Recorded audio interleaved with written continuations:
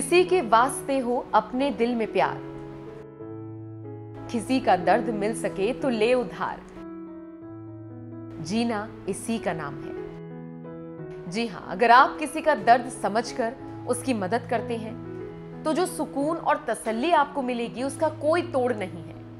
Facebook user robin Mukesh को भी ऐसा ही एहसास हो रहा होगा, जब उन्होंने एक जोमैटो बॉय के दर्द को समझा और जुट गए उसकी मदद करने के लिए।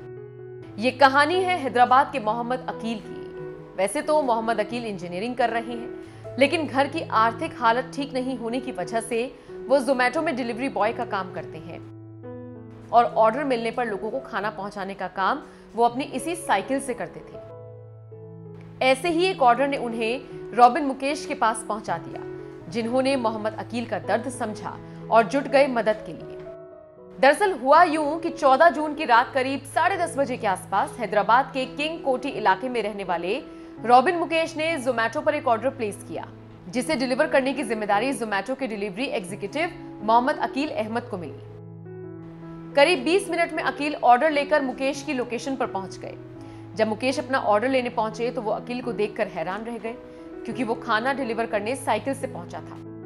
ऑर्डर देने वाले मुकेश तुरंत ये समझ गए कि डिलीवरी के लिए अकील ने साइकिल से 9 किलोमीटर की दूरी सिर्फ़ 20 मिनट में तय की। ये बात मुकेश के दिल को छू गई और उन्होंने डिलीवरी बॉय मोहम्मद अकील की कहानी लोगों तक पहुँचाने के लिए अपने फेसबुक पर पोस्ट किया और लिखा, मोहम्मद अकील ने मेरे ऑर्डर को तेज स्पीड से डिलीवर किया। जब नीलोफर कैफ़े ने मेरा ऑर्डर कंफर्म किया तो मोहम्मद अकील मेहंदी पत्तनम में थे और वहीं साइकिल से चलकर किंग कोठी में मेरे पास ऑर्डर डिलीवर किया। मुकेश ने लोगों से अपील की और कहा, अकील इंजीनियरिंग कर रहे हैं। अगर आप मोहम्मद अकील से मिलते हैं या जोमेटो से कोई ऑर्डर करते हैं तो उन्हें एक अच्छी टिप ज़रूर दें। साथ ही मुकेश ने यह भी बताया कि उन्होंने चाय ऑर्डर की थी, जो डिलीवरी के वक्त भी बहुत गर्म थी। God bless you Akeel. Your hard work will definitely pay you off